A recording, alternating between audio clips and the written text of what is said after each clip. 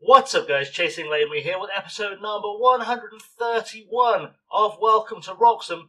In today's episode, the old lady comes to the Norfolk Broads. We've got Juventus at home in the Europa League. So, like, subscribe. I'll see you after the intro.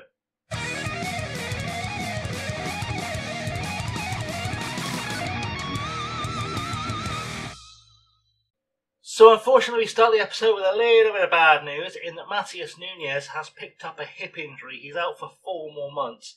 He's going to return sometime at the beginning of March slash April, depending on how his recovery goes. But he's already 35. I've just given him a contract extension as well, which was unfortunate timing.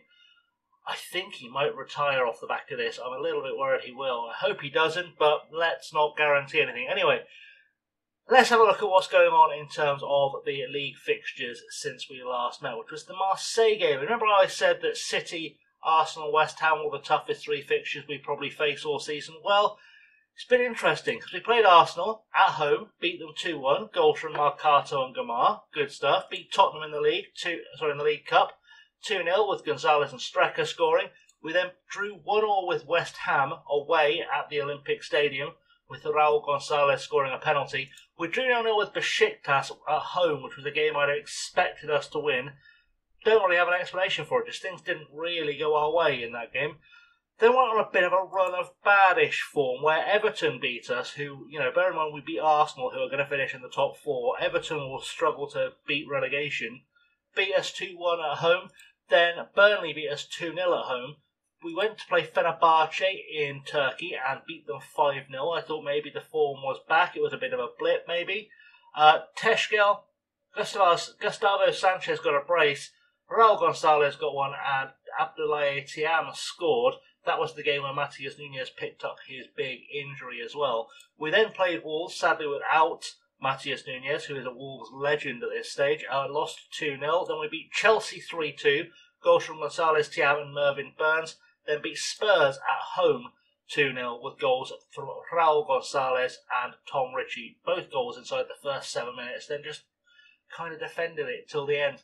It was pretty fine, which brings us up to the Juventus game. Looking at the Premier League, well, we sit in eighth at the moment. That little blip has not helped us, but we're still in the fight, and we're only three points off of Burnley in fourth. How Burnley have got into fourth. They are having a ridiculous season safe to say, in fact, Everton are also above us, so they've also turned things around this season. But interesting to see things slowly mixing up. Chelsea are in a relegation fight, which is probably even more surprising, to be honest. Anyway, without any further ado, let's go and welcome Juventus to Wroxham. So today's starting lineup sort of picked itself because I've only got 23 players fit. So I've got Garda in goal, Walters, Marcato, Strecker and Moraes at the back, Emery, Gilardini and Gonzalez in the middle of the midfield, Gordon and Ritchie on the wings, Thiam up top. We've got Svetkov, Dorrington, Silla, Jimenez, Angeloni, Don, Texel, Yusuf, Sanchez, Bassene, Kalaric and Burns on the bench. Of course, Ahmed Gamar not, re- not registered for the tournament. I may swap him in for Matheus Nunes at the next available opportunity. Let's get rid of the unavailable players because that just makes a clutter of things. You can see then that is all the players I have available to play in this game. So, without any further ado, let's go and play Juventus. So, in the dressing room, I tell them to carry their last performance into this match We'll do well. That's a good piece of advice. I had a look at the Juventus team on the team sheet, by the way, and oh my word. Right, I tell everyone we need a strong defence today. That's going to be important. In fact, we need to take control of midfield as well.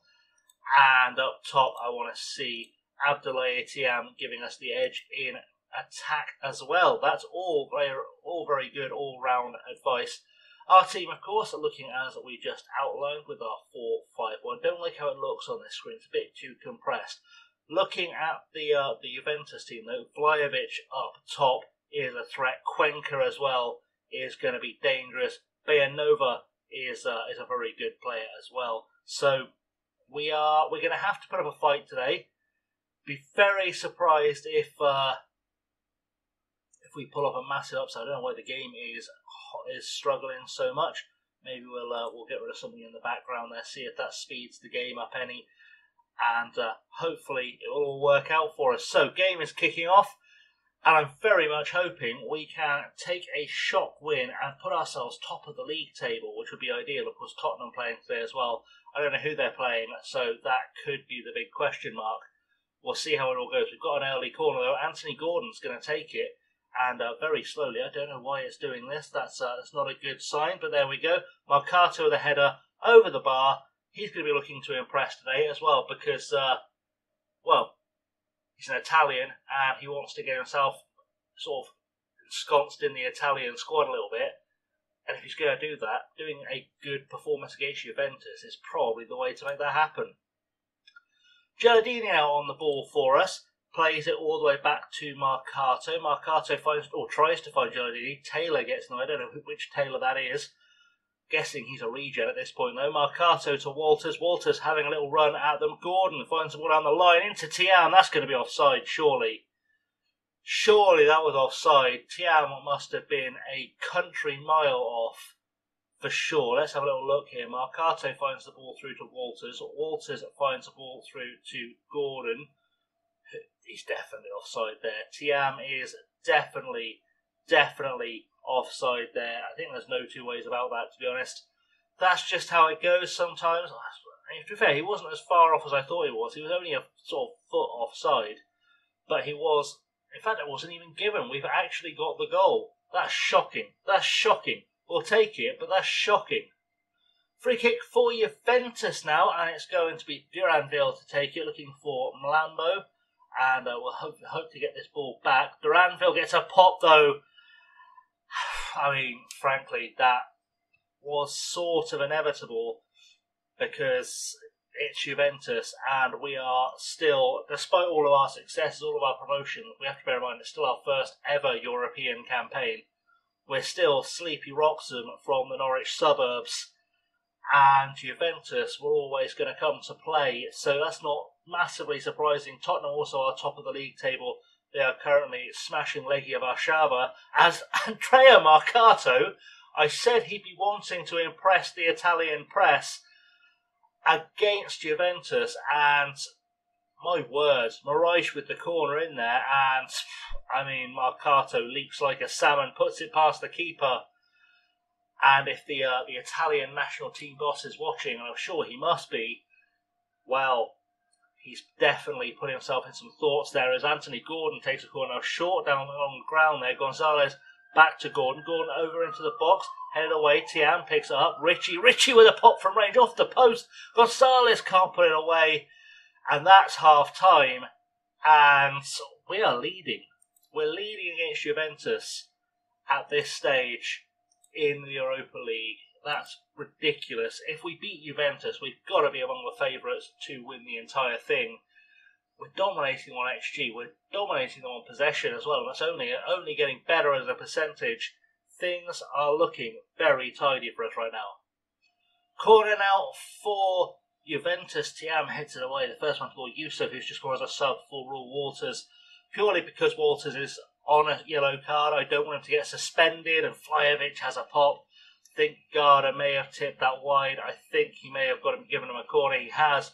Duranville is going to take it, and we need to get rid of this. Strecker's not having a great game as Garda tips it over the bar. I think I'm going to take Strecker off while I can. We'll send Alfie Dorrington in. Uh, Angeloni really wants to get on the pitch because obviously he's also an Italian and wants a chance to play against Juventus. But I don't think it's going to happen for him at this stage. We'll see how it goes. Throw it. I've sent Angeloni on for Moraes because he was getting tired. Dorrington has also come on at the back for Strecker, and Silla has taken the field for Gonzalez, who is also looking tired. Do need to start rotating a few players, so that's what we've done here. And Yusuf now ball back to Silla to, Gonsa- to Gordon, sorry, into the box looking for Thiam, doesn't find him. Gilardini should win this in the air, doesn't. And uh, now out to Britsky, and uh, there we go. Clint Yusuf doing what we paid Clint Yusuf to do. Some good defending there. Trying to hold on to this lead. There's a few minutes of injury time to go, but we could be about to score a famous victory against Juventus. We have done it. Unbelievable stuff.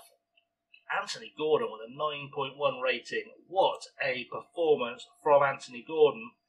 We're going to say we are happy we got the result despite not being at our best, and uh, we think we're probably going to give a little bit of a little bit of top marks praise to uh, to Anthony Gordon. You were excellent tonight. Well played, son. Let's roll it forward, and we're going to see where we're going to come back. I think I already know in my head where we're going to come back though, so we'll have a look at that. Looking at the uh, Europa League table, Spurs currently on top. We're in second. Fiorentina and Juventus are still up there. We've got Groningen from the Netherlands. Uh, Hertha Berlin from Germany, Beerschot from Belgium, and Hearts are up in there. But, you know, let's not count any of these teams out here. There's still a couple of games left to play. Anyone from Rangers up will have a shot of getting it. Rangers will be disappointed to see Hearts qualify and to not qualify themselves, if I'm completely honest. So that's going to be a thing to watch out for. One thing we do need to watch out for, though, is our next game. And actually, we're going to come back fairly quickly because we've got West Ham in the League Cup quarter final. And, uh, well, quarter finals have kind of been a bit of a curse for us recently. So I would like to try and get us into a semi final for the first time because I feel like we're overdue now. We're doing well in Europe. We should be able to get to a semi final of Euro- of the League Cup. There are only five Premier League teams left in it. We're the only Premier League teams playing each other as well. So it's going to be a tight one. Anyway, guys, I'm going to wrap things up there. Thank you for watching. I have, as always, been chasing Don't forget to like, subscribe, ring the bell, that good stuff. If you're new around here, definitely subscribe. It helps the channel out a lot. Also, go check out on the channel my beginner's guide to Football Manager if you are new to the game.